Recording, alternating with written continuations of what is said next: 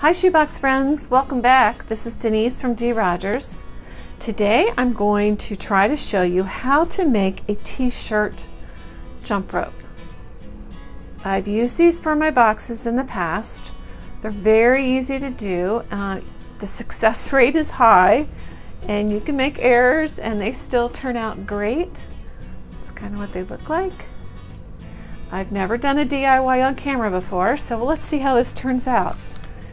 You will need some t-shirts. These are my kids' t-shirts. Um, they were all swimmers, so we have a ton of t-shirts. You can use any old clean t-shirt or um, you can get t-shirts at thrift shops um, inexpensively. But I have a ton hanging around my house from my kids. So um, they, are, they are medium, some are small, some are larges. It doesn't matter. You can get whatever you can get out of a shirt works great. You will need a good pair of scissors.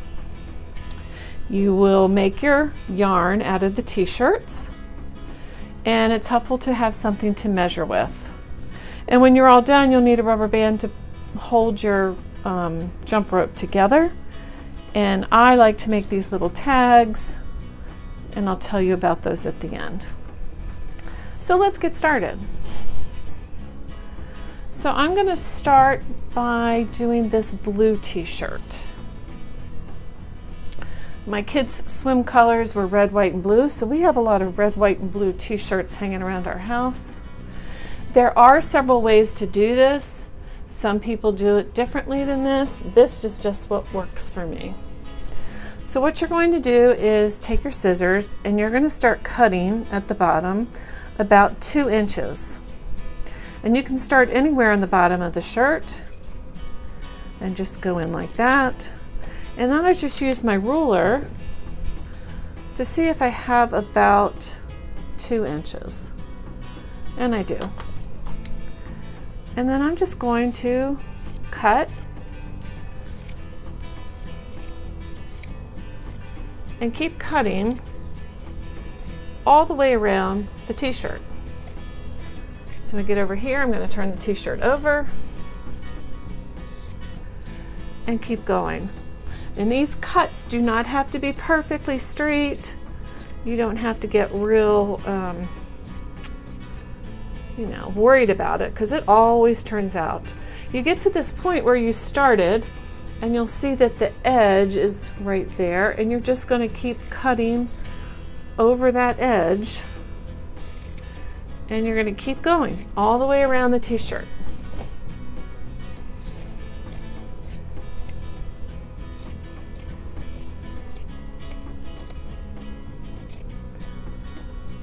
And what you're doing is making your t-shirt yarn.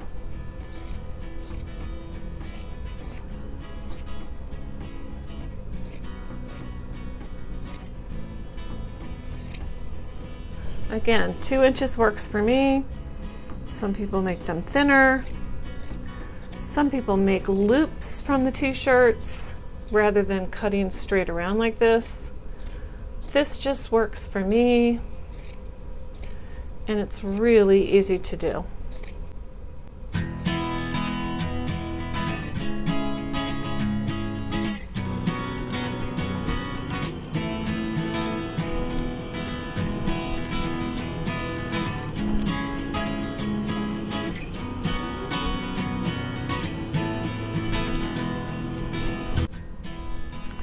Okay, when you get to the top of the shirt, close to the sleeve, that's where you're going to finish your cutting.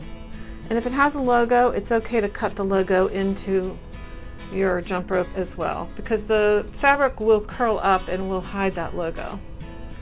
So you're going to cut all the way to the top of the sleeve. There's the sleeve right here. I think I can get a little bit more out of this one cutting until I hit that next sleeve, which is right there. Okay, so we're going to end it there. And this is the part you don't need anymore. And you can just throw that away. Then what I do is I take the yarn that you've now created and I stretch it. and pull it along the whole length and you'll see that the material from the t-shirt will curl up. And this is what you are making your t-shirt yarn.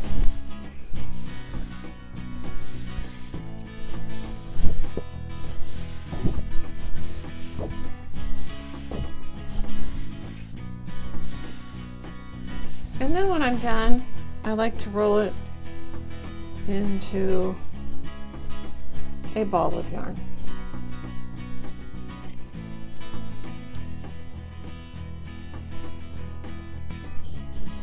Okay, I now have three colors that I'd like to use for this jump rope.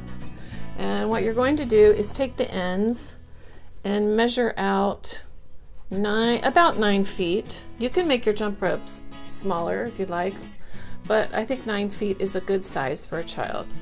So I'm just going to use my stick roller and you can kind of hand measure this if you don't have something to measure it with. So that's one, two, three, four, five, six, seven, eight,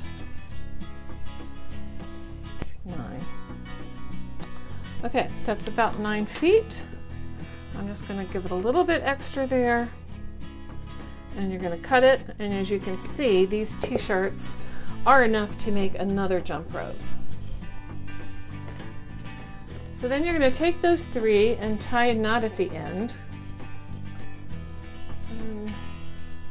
Give it a good knot, pull,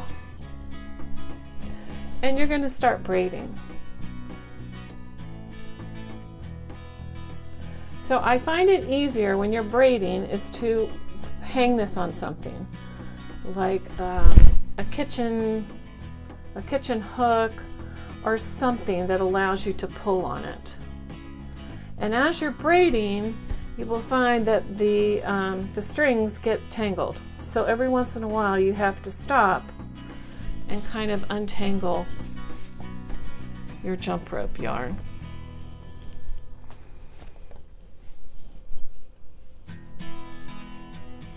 So as soon as I get this long enough, I'm going to hang this on my window so I can braid it a little bit easier than this.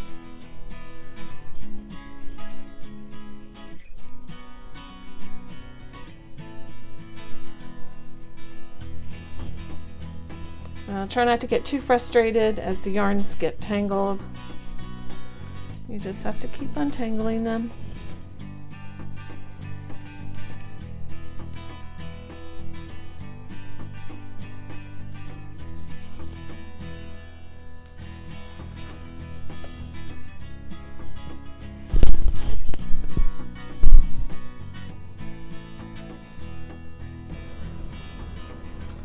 So you can now start to see that I have it now attached to my window, which makes it much easier to braid and pull the t-shirt yarn out as I go. I forgot to mention you do need to know how to braid. I don't know if there's any other way to do these, but if you know how to braid, these come out really nice. And I've also noticed that some of my t-shirt yarn is thinner in some spots than the others. And that's okay. That just it's just the way the t-shirt pulled thin. These still come out no matter what you do. Pretty nice. And they're fun to make.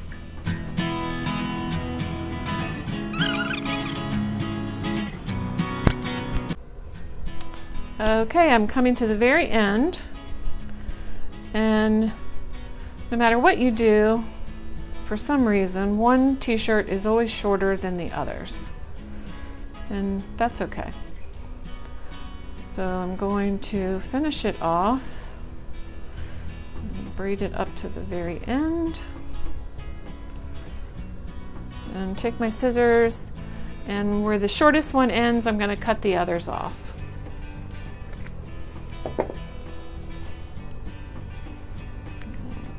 Loosen that braid a little bit and make a knot similar to the one I made at the top of the rope.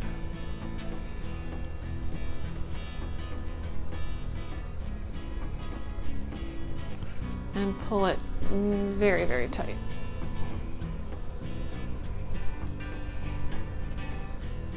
Okay, so that's that end. Move this off of my window and you can see the other end. And you can see you have your jump rope. And then what I like to do is take the jump rope, stretch it just a little bit, and then I put it all together with the rubber band that I had on my table here somewhere. There it is. I'm to put a rubber band around it.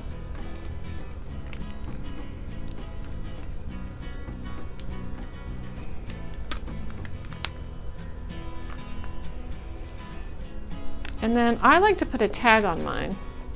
So for countries where, you know, they may not be sure what this is for, you can go online to free clip art and just type in girl jumping rope, boy jumping rope, and you will get these little pictures that I really like of the kids jumping rope. Here's the girl. And then what I do is I use fancy scissors, cut around the picture, and put it on a piece of cardstock. Then I just attach a piece of twine and tie it to the rope.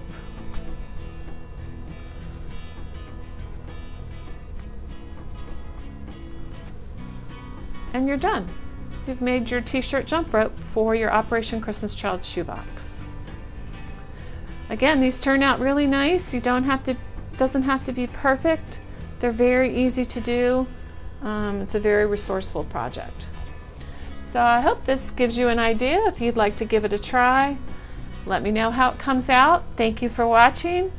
Uh, be sure to subscribe and give it a thumbs up if you enjoyed watching this DIY for Operation Christmas Child. Thanks. I'll see you on another video. This is Denise. Bye-bye.